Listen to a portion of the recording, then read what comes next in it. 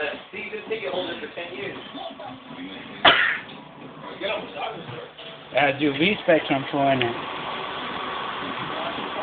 dog. Like Hollywood in there.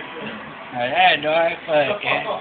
My biggest fucking problem was heat, dog. Fucking, that's why I've been, yeah.